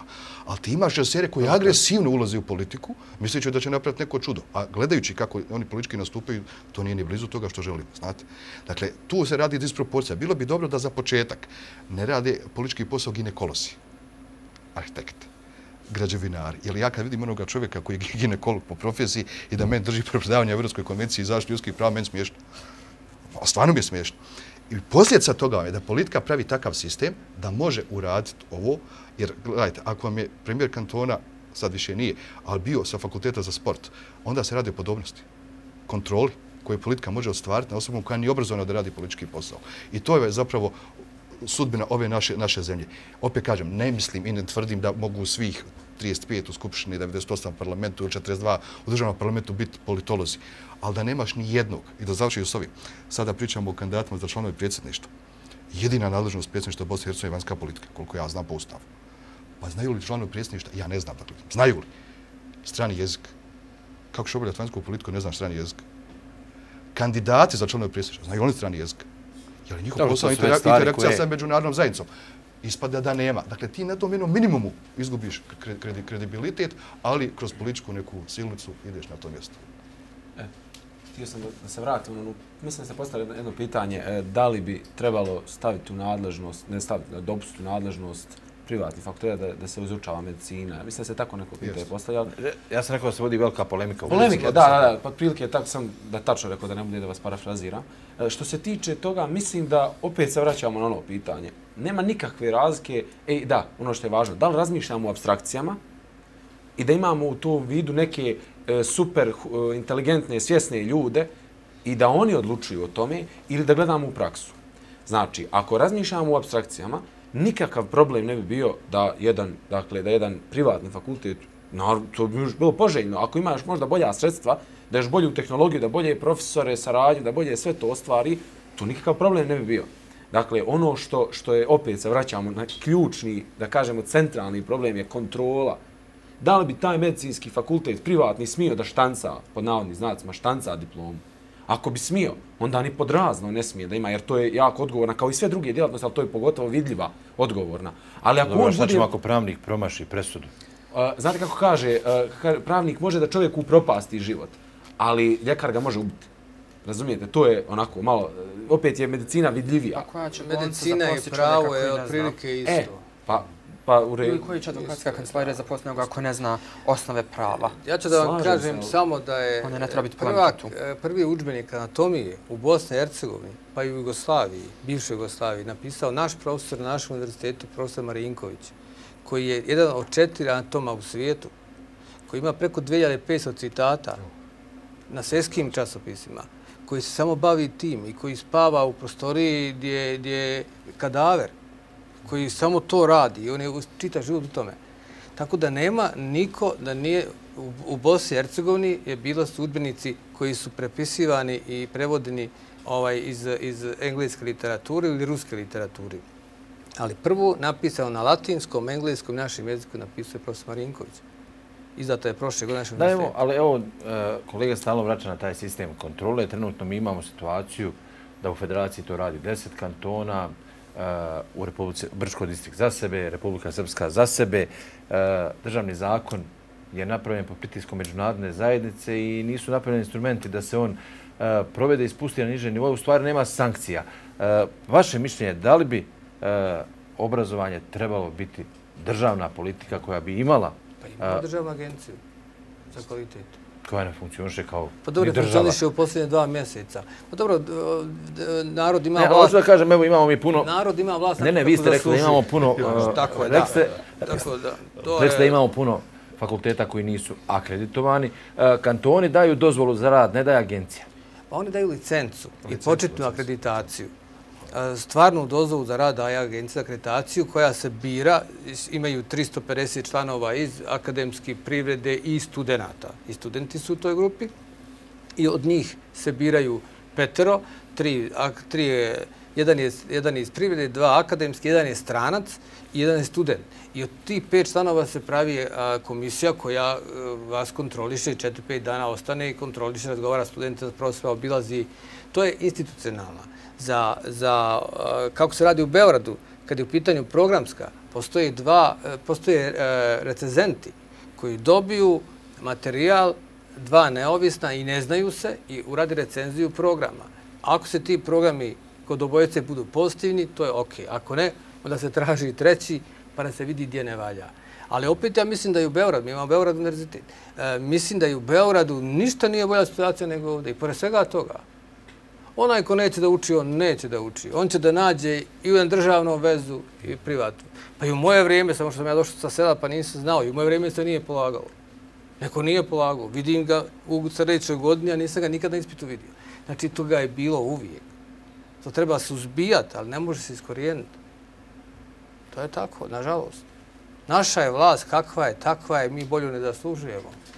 Da, Takav je narod. Mi je zaslužujemo, ali hoćemo li mi je to je... biramo, mi biramo tu vlast. Što je kolega, kolega rekao, ovaj, ko će zaposliti lošeg pravnika, lošeg medicina. Naravno da privatni sektor to ne trpi. Mislim, niko u privatnom sektoru koji ima svoju kompaniju, uzmimo banalan primjer, neće zaposliti nekoga ako mu donosi minus. Dakle, ko mu smanjuje profit, nego samo onoga ako uvećava. Međutim, sad imamo taj drugi odnos, politički odnos klijent-patroni, dakle, gdje ti, ta lica ne zapošljavaju privatni sektor, vrlo rijetko. Naravno, osim ako nisu pravi, kvalitetni privatni univerziteti, gdje, gdje privatnici jedva čekaju takve, takve završene studente, svršene studente koji će otići i koji su vrhunski stručnjaci, dakle, bez obzira na kom univerzitetu. Ali politika koja školuje svoje kadrove, dakle, i onda ih ubacuje u državne institucije. I to je čitav problem. Dakle, ti ljudi koji su neproduktivni, koji nisu završili na, na pravi način bilo koji fakultet, znači bilo koji javni, privatni, oni najčešće kao klijenti svoje stranke idu u, u državnu administraciju i to je to. Znači, I zbog toga imamo... Šteli. Pa jasno, pa, pa da, da, da. Zar ne postoji ade, adekvatan mehanizam da se to prijavi? Naravno. Zar ne postoji konkurs koji je otvoren za, za sviju? Zar ne postoji žalbeni postupak? Zar ne postoji žalbeni postupak za svaki konkurs? Zar ne mhm. postoji... Ne, ne, ne, niste u dobroj percepciji. Ovo što da vidite kako izgleda stvarno prijem u državnu službu. Ja bio, vidio. I pružu otpor. Dakle, ja živim u jednom idealističkom svijetu. Ovaj, da ima, postoji konkurs pobjednik konkursa s najvećim brojem bodova bude primjer na to radno mjesto za koje je raspisan konkurs. Ja živim u takvom svijetu. Volio da je tako. E kakav je zbilja kod nas? Dakle, politika je napravila takav zakon. Provede se konkurs za državnu službu. Prijavi se sto kandidata. Oni prođu sve te bodovanja, on prvo neformalne uslove, pa neke ispite, pa intervjue, pa sve. I oni se izboduju. Na kraju intervjuje. Jes, jes, izboduju se. E onda, poslodavac, pa bio tu načelnik opštine, neko iz kantona, neko iz federacije, iz Enteta ili ne znam iz BiH, onda on s te liste, ali pazite sad dok ide to ludilo, pod izgovorom da se vodi računa o etničkom sastavu strukturi, može izabrati koga hoće.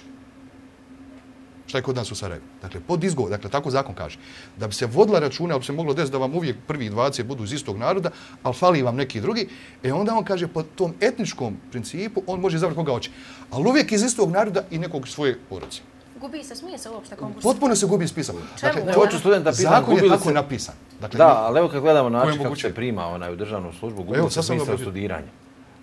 Šta studenti misle o tome? I druga, ta percepcija studenta, uglavnom u Bosni i Hercegovini, većina bi htjela u državne institucije, e, čak i praksu kada žele obavljati, to znam iz ličnog iskustva, neće niko u, od novinara, rijetko ko hoće u televiziju, ali bi u Telekom, bi negdje nadajući se da mu je to put da ostane u toj instituciji. To je nasljedstvo od komunizma.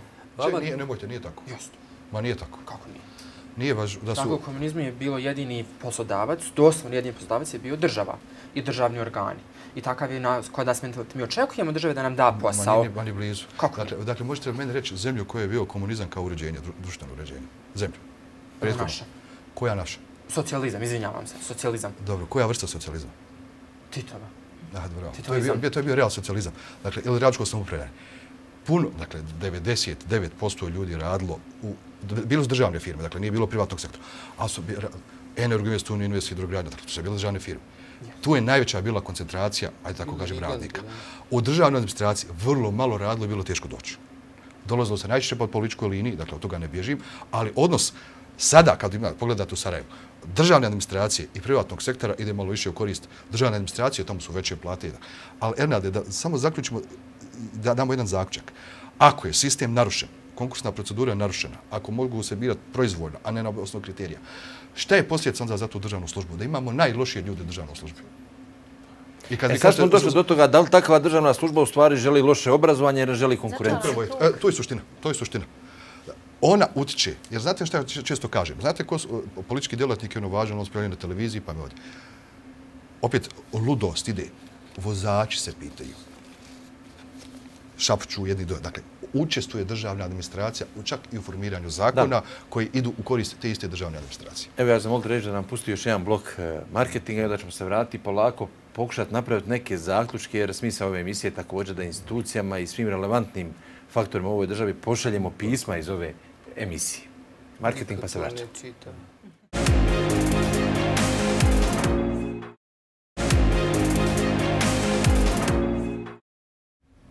Meni je nekako uvijek drago kad nam u ovim pauzama traje rasprava i u emisiji, e, što znači da smo pogodili ako ništa temu, jel? Hoćemo li mi donijeti zaključke, to je e, veliko pitanje. Ali počeli smo o toj politici koja je u Bosni i Hercegovini, nažalost, e, uvijek je se dohvatimo. Za politiku se veže i novac u Bosni i Hercegovini.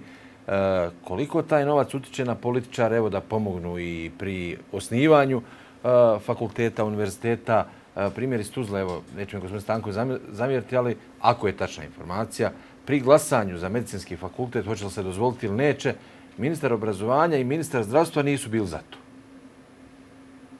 Pa imali, ali vlada je bila za to. Nisu imali zeleno svjetlo. Ali vlada ali, bila ali, za to. Pa jeste. Ali... Je to politička odluka? Ili je struka? Može se reći da nekome naredio ovome da se ne glasa, a da je posle... A ovima da glasaju nije niko naredio. Pa vjerovatno, ja ne ulazim u to, ali se dižu ruke, pa išu na glasanje. I tako je to prošlo.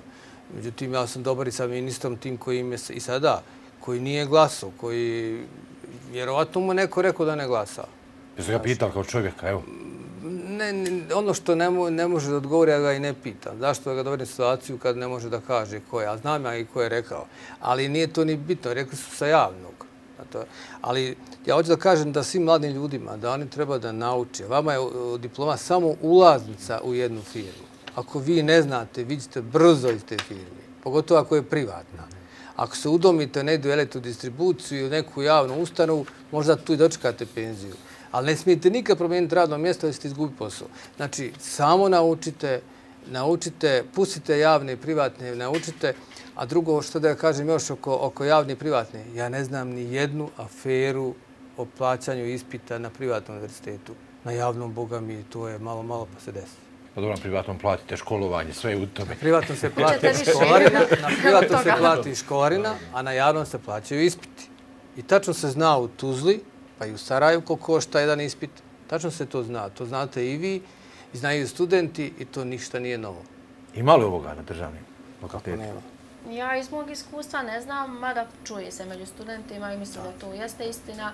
Mislim da je to problem toga što je i univerzit, javni univerzitet kao i sve ostale državne institucije u ovoj zemlji ko se tu zaposli, oni, ti su ljudi neprikosnoveni nekako. Ti profesori, što je negativno, a što je pozitivno na privatnim fakultetima, je to što vi onda tim profesorima ne možete praktično ništa.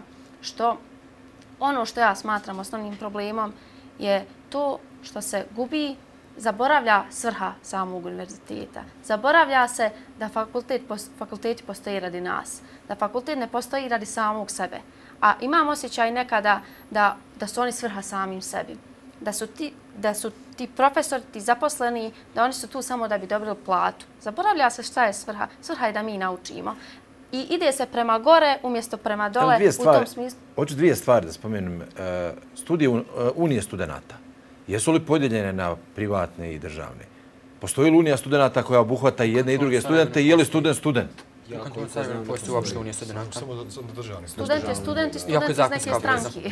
U Sarajevu ne postoji? Ne postoji unije studenta. Postoji studentski parlament univerziteta u Sarajevu. Pa dobro, o tome pričamo.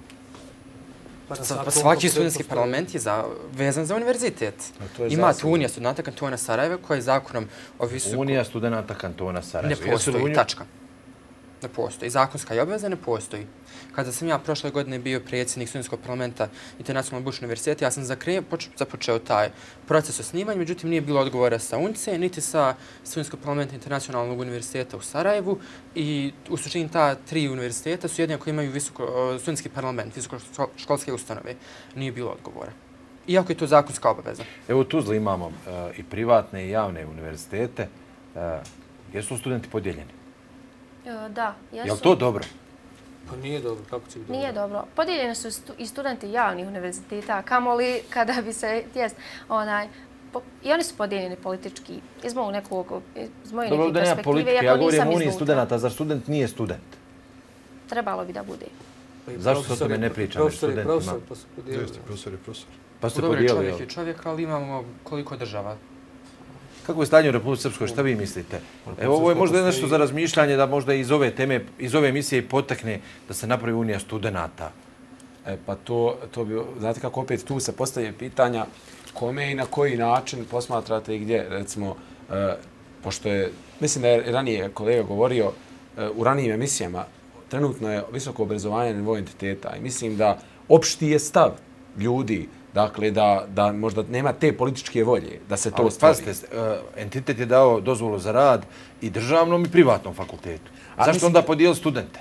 E, ako je dao dozvolu. Mislite na nivou Unije studenta Republike Srpske da, svih bud... i javnih i privatnih da. univerziteta? Jesu li Unije studenta samo sa državnih fakulteta? Da, da, trenutno su samo sa, sa državnih, pa zato što je to Unija e, kon koncipirana na sljedeći način. Postoje dva studentska parlamenta javnih univerziteta, dakle studentski parlament e, univerziteta u Banja Lucu, studentski parlament univerziteta u Sarajevu. Unija između ta dva univerziteta kao jedina dva državna čini Uniju studenta Republike Srpske. Nije, e, A pa nisu... zove se Unija studenta Republike razumijem, Srpske. Šta su ovi drugi koji razumijem. studiraju? razumijem sad na kojem nivou i da li tu postoji ograničenje i na koji način, da li se zakonski to može, to, to bi valjalo izvidjeti pa vidjeti da li oni uopšte imaju zakonsku mogućnost. Ako nemaju, to bi možda u nekom smislu i trebalo mijenjati. Zakon ne brani. Tri studenta se nađu i napravi uniju studenta. Ali da, ali da bi se mogla ujediniti, ali da bi se mogla ujediniti, ali to opet postavlja pitanje da li se mogla ujediniti, što je kolegica rekla, studenti na javnim su razjedinjeni po nekim različitim kriterijima, a kamol da se ujedine još sa studentima s privatnih, pogotovo iz tog što, što kaže što postoji ovaj stereotip, pra, u pravom smislu riječi stereotip, uvrženog e, kao odnosa rivaliteta između privatnih i javnih, što je pogrešno, što kaže profesor, potpuno je pogrešno da se studenti posmatraju, sad bi ja kolegu trebao posmatrati drugačije, zašto je on student sa privatnog fakulteta, apsolutno ne, on je student kao i ja. Molim? Ne možete u istu uniju. Ja ne odlučujem o tome ja ne odlučujem o tome da, da, se, da je moje subjektivno mišljenje na nivou, na nivou dakle, svi studenti Republike Srpske bi mogli da, da funkcionišu kada bi se riješila neka ključna pitanja. A to je opet ono što se vraćamo, kontrola da mi stvarno budemo studenti, studenti. Jer ako sam ja student, sad, pošto ste rekli, je student, student, ako sam ja student četvrte godine pravnog fakulteta i znam i sve moje kolege koje su prošle, kako su prošli, dok, na koji način su prošli da dođu do, do, do, do, do tog mjesta gdje jesu, A s druge strane, također znam dva, tri studenta koji su išli sa mnom i zapeli su na krivičnom pravu i odustali i upisali se na drugi, na drugi privatni fakultet jedno ih za čas su položili. Juče da kažeš, oni nisu platili ispit, nego platili diplomu. Ne znam ja šta su oni uradili. Šta, ono što govorim, dakle, automatski se kod mojih kolega stvara animozitet. Razumijete, kako je to moguće sad na jednom i to još oni kažu da nisu se pomučili uopšte oko toga nije, kažem, ne imenujem ljude, ne imenujem univerzitete, baš zbog toga što je gospodin rekao da ne bi morali dalje da objašnjavamo. Ali u principu ovo je jedno iskustvo koje ja lično imam. Tako da, e, da li da ja njega baš gledam kao studenta, kao studenta, kada znam da on se ne muči i nije na istom nivou ulaganja kao i ja u to, pa da se mi smatramo isti da idemo u istu uniju. E to je sad pitanje za diskusiju. Ne bi ja spriječio nikome, znači formalno, pravno nikad spriječiti, oduzeti pravo nekome, ali hajde da malo razgovaramo o tim suštinskim stvarima. Jel znači da student biti mučenik? Da ja ne mogu izaći na kafe večer zato što ja moram čitavu noć prosto učeći neki predne. Ja znam to od slova do slova, do zareza, do tačke, do uzvičnika, do upitnika, kako bi ja to sutra mogao profesor izrestovati kao pjasnicu u osnovnoj školi. To je pogrešno. To je pogrešno. Pa to učenja. Pa to, pa to se dešava. To se dešava i na mom fakultetu, univerzitetu čak. Gleda iz knjige i prati kako ste rekli. Da. To, to, je pogrešna percepcija, ako razgovaramo, to je apsolutno pogrešan način učenja. Za Ničan, evo svi na javnim, državnim, ali ima ih, jel? Jesi li ti zato da studenti napravi organizaciju koju će biti svi studenti? Pa evo, ako posmatramo kod nas univerzi, uh, univerzitet u Zenici ima uniju studenta u Zenici koja se sastoji, upravni odbor se sastoji od predsjednika asocijacija svih uh, da, fakultetskih ali, jedinica. Ali fakulteta. Ako bi, ali tvoj kolega došlo... iz Travnika, napravite studentsku organizaciju koju će biti svi studenti. Imamo prvu stavku, mi nemamo na nivou federacije uniju studenta kao tako, nema dogovor, apsolutno. Molim? Obrazovanje nije nadležnost federacije, nego kantona.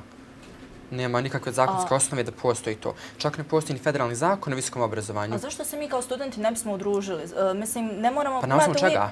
Kad nema unije studenta kantona Saraj, kad nema unije studenta... Trebate krenuti od rektorske konferencije. Da, to sam sad... Udruži, pa onda će... Ne, evo to možda kažem, evo imamo i rektorsku konferenciju. Pazite, imamo rektorsku konferenciju državnih univerziteta, imamo rektorsku konferenciju pravnih e, univerziteta.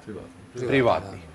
E, zašto rektori ne bi sjedili jedni s drugima i razgovarali? Mi bi. Neće s nama javiti.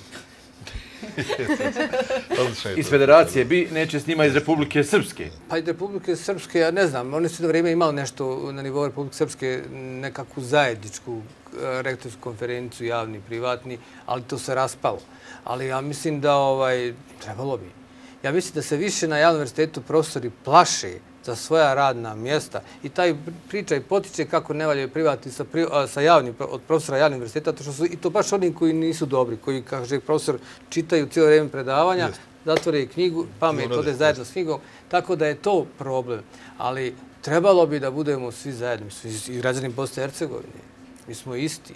Trebate učiti da sutra kad sedite u društvu, pa pravnici pričaju, a vi ne znate, morate da ustanete da vas ne bi bilo sramota kako nešto ne znate. Naučite radi sebe, nemojte radi profesora. Učite, mladi ste, pred vama je život. Ja se najviše bojim lošeg doktora i lošeg pravnika. Mene će samo, kad vidim, odim na sud, pa kad vidim da sudija ne zna, ja se najviše njega plašim. Jer on iz znanja, on ide po svoje mišljenje kod prepostavljenog, da kako će bi napisati rješenje. Ili možda je napisao. I ljekar koji ne zna. Znači, mnogo je, ako se desi ljekaru da neko umre, on kaže, pa koliko sam mi spasio? Na, tako je, to je ta priča. Ali loš pravnik i loš ljekar, Boga mi, vodi čovjeka u propast, ovaj smrt, a i, i neko ko je osuđen deset godina, a nije kriv i on je mrtav čovjek. Dobro, nemamo još puno vremena za ovu emisiju. Ja bih vas zamolio, onako, onako, na, na osnovu svega što smo razgovarali, šta bi vi dali kao možda svoju ličnu preporuku da se nešto promijeni, da napravimo iskorak, evo da se ta saradnja između državnih i privatnih eh, unaprijedi? Pa evo, počela bih e, od svoje jedne teze. E, polazim uvijek od najmanjih stepena i radnje društva, porodci i slično. I jedna individua je čelija, početna čelija opšte jednog društva. Da svaka individua prvo razmisli šta ona želi od sebe, kakav kvalitet znanja i slično. Mislim da mi svi po svojim željama možemo ocijeniti šta nama treba i šta nama pripada. Ne bih bila možda ni protiv jedne razmjene studenta među studentima privatnog e, i javnog fakulteta, čisto da mi vidimo šta ima kod njih, šta ima kod nas otvoriti malo vidike. Ko zna, ako imate mogućnost studirati paralelno jedan državni i jedan privatni fakultet, sada da malo širimo naprosto vidike, da imamo da ne osuđujemo jedni drugi. Imamo problem u Bosni i Hercegovini što konstantno osuđujemo jedni drugi, a ne želimo da razumijemo jedni drugi. U svim oblastima i sferama naših života. Ako pružimo priliku drugom i drugačijim, nešto iz toga može pozitivno da se izrodi.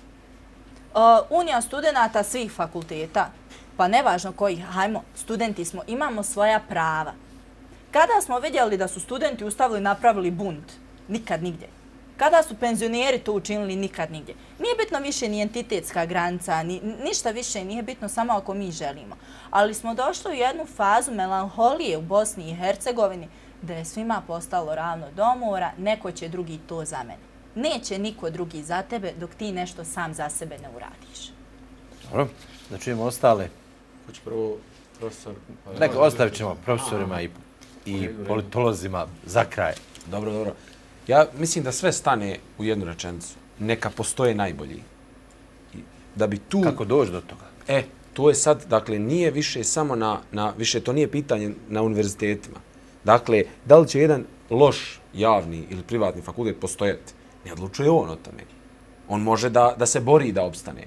Ali ako neko koga opet, to je ona zaključna rečenica sa kontrolom, koju ponavljam cijelu emisiju, da je bitna kontrola svakog fakulteta, svakog univerziteta, bio on javni ili državni. Ako on može da proizvodi vrhunski kadar, niko ne pita je li on javni ili privatni. Ako proizvodi stvarno dobrog pravnika, dobrog ljekara, dobrog politikologa, dobrog novinara, bilo koga, ako proizvodi dobar kadar, kvalitetan, koji odgovara, koji može odgovoriti zahtjevima posla, dakle, nema nikakvog problema I to je čitav plan, znači kontrola da li može ili ne može proizvesti, a to je naravno na nivou države. Ako se država brine o obrazovanju, ako ne želi da se brine o obrazovanju, može ona pustiti, tržište će samo. Dakle, ali to će biti jako, jako pogubno, zato što tržište je nemino, ne, ne, nemilosrdno. Ono ide svojim tokom, ali ono ne gleda socijalne rizike, nego samo vuče pravo.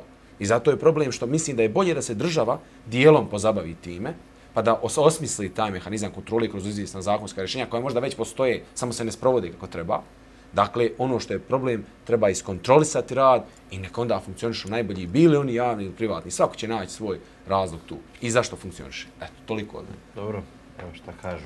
Ja bih se složio sa prvobitnom tezom kolege, neka najbolji rade i opstanu, ali ne bih se složio da država treba to kontrolisati. Iz, iz jednostavnog razloga zato što u državi je upletana politika, kao što ovaj doktor je rekao. Opet, uh, ko treba, prošle... ko treba ocijeniti Burče?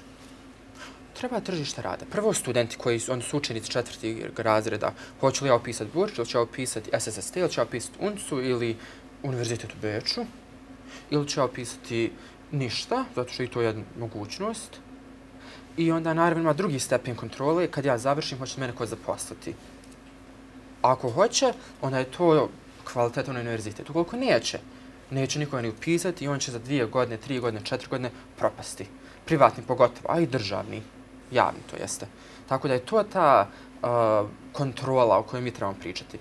Država da, ima sasvim propa, dovoljno više. Ne propadaju, mi imamo u Bosni i Hercegovini situaciju da imamo sve manje studenta, a sve više fakulteta. Manje studenta na više, na više fakulteta. čemu je tu spor. Manje je studenta, učenici odlaze, studenti odlaze, upisuju se vani. Manja, ova zadnja generacija je bila manji upis generacija zato što je onaj bio skok između 8. i 9. grada, kad, su, kad je uvedeno 9-godišnja škola, osnovna škola. I to ljudi ne, ne govore, baš nego misle, odeš 200.000 ljudi. Nije ni otišlo 200.000 ljudi, nego jednostavno manje studenta je krenulo u školu te godine. On završilo osnovnu školu tada, time i srednju. I to je sve nijance koje su složene, koje većina ljudi ne svata. I šta, ko, je, ko daje univerzitetima akreditaciju, odnosno dozvolu za rad? Skupština. Meni da sam ja zastupnik u Skupštini ili u Skupštini kantona ili Skupštini Republike Srpske, meni bi bilo stije dignuti ruku za zato što mi je neko nudio da me potplati da ja dignem tu ruku, ili isto u vladi, ili da ja dignem ruku da se opet dozvoli rad nekom univerzitetu koji proizvodi loš kadar i koji ne ispunjava te osnovne uvjete. I pak ti ljudi koji sjede tu, ti zastupnici, odgovaraju uh, glasačima. Dobro, evo, nemamo još pet minuta. Šta Tuzla kaže? Vi imate i privatne i državne Ja bih rekla da svi mi, svi mi koji sudjelujemo u sistemu obrazovanja, bili mi svi javni, privatni, bili mi studenti, bili mi političari, bili mi ministri, bilo šta, treba non stop da se vraćamo na tu samu svrhu obrazovanja. Zašto mi to radimo? To je da izgradimo budući radnike. To je nešto uopšte, ali evo šta napraviti korak mali da ovo popravimo stanje, da jednim drugima više vjerujete, da... Pa jednostavno da se treba riješiti predrasuda i komunicirati. Ja sam student komunikologije, ono, komunicirati, učestvovati, ovaj, ne, ne govoriti nešto kao što je rekao profesor, ne govoriti ništa ako ne znamo o tome. Dobro. Gospodine Kovačević. Pa vidite, prva stvar koja je psihologija našeg običnog čovjeka jel, usađena je da se plaši konkurencije i da mu je konkurencija nešto što on odbija i sloni oportunizmu ili lakšem nekom putu. Kada bi konkurencija odlučivala, onda bi vrlo izvjesno privatni fakulteti imali prednost radi kvalitetnijeg sistema nastave. A, I ovo što rekla mlada dama, a, kako ste rekli, ne postojite vi rad fakulteta, nego fakulteti rad vas. Jeste tako to nekako rekli? Da, Možete li to primijeti na državu? Naravno da možemo i država postoji radi nas. A jeste li sigurni? Ili, ili smo mi, ovo što je kolega kazao, relativno naivno, da on u Skupštini neko parlamentu ne bi glasao mimo svojih ubjeđenja, a ja sam siguran da sada u Skupštini kad tu naglase ljudi mimo svih svojih ubjeđenja radi nekih... Dobro, ono šta nam je? Jedno od rješenja, baš neko praktično rješenje da nešto dakle, napravimo iskorak. Ja, se, ja vjerujem u ovu novu mladu generaciju. Očigledno da se mora politička struktura promijeniti, da dođu ljudi koji donose propise, da donose takav propis koji će u obrazovanju uvod sisteme kvaliteta, u kome neće biti takva vidna razlika među javnih i privatnih fakulteta, nego da će tu u okviru i tržišta rada i svih drugih elemenata se raditi na kvalitetu, a da bi tako nešto bilo moguće, donosjeci zakona mora doći na potpuno nova generacija sa potpuno novim sistemom razmišljanja da bi donijeli zakone u korist obrazovanja, a ne u korist nekih političkih. Evo, gospodin Tanković, za kraj. Ma mi smo se dotakli teme, mi nama djece je sve manje. Tuzlanski kanton je za pet godina izgubio 13.000 stavnika, Brčko 5.000 stavnika. Koga je to će... samo ovo što kolega kaže, osmogodišnje i devetogodišnje škola? Nije, nije, odlaze, odlaze, odlaze skroz iz kantona. Ja ne znam kako u Sarajevu, ali ovaj, vjerujte da mi još malo neće imati koga ni školovati. Djeca su pametna. Ove nove generacije se vjerujte da, da i mene i dosta profesora je strah kad na predavanje, djeca se pripremi. Djeca imaju priliku da nauči. Informatički su pismeniji od nas. Jer ja kompjuter sam vidio prvi put prije 15 godina. Oni ga vide čim se rode. Tako da je to nešto što, što njima daje prednost. Ne bojim se za ovo mladinu. Ja samo apelujem na političare da omoguće tim mladim ljudima da rade, da ostanu u svojoj državi. Nije lijepo u državi. Je li jedno od rješenja ovo što je neko od kolega rekao da idu jedne drugima, mobilnost mladi sa privatnog na državni. To ne treba uopšte dijeliti. Mi smo isto ne, ne, da dođu malo da vide kako je kod vas dođu, i kod njih. To, to bi bilo mi drago. Ja sam čak pozvao profesora Pašića u jednoj emisiji, gdje su u stvari obećao on da će doći pred kamerama, da će doći kafu kod mene, pa nikad nije došao. Znači, tako da je to, ovaj, nema, onda je zao mene bi otišao. Nemam ja taj problem. Ja radim svugdje. Svi su profesori dobri, svi su univerziteti dobri, svi studenti dobri ima tu i loši, manje i loši, zato postoji ocena od 5 do 10. Je li ključ ovu agenciju napraviti funkcionalnom? Zaista? Agencija mora da postoji. Ali moraju biti prvo propisi zakoni. Da ne zavisim ja od agent od volje nečije, nego tamo piše zakon da moraš imati dva kvadrata ili 8, 15, na medicini 15 kvadrata po studentu. Trebalo biti isti zakon za sve u državi. Pa mora biti, valjda mora biti. Dobro, hvala vam lijepo za ovom gostovanje. Vjerujem e, da smo bar otvorili ovu e, E, temu, da smo dali neku korisnu sugestiju. E, hvala vam, nadam se da će biti prilike da govorim o ovome još, a vama, poštovani gledalci, hvala što ste bili e, uz emisiju bez straha i cenzure i naravno ostanite uz program TV-a.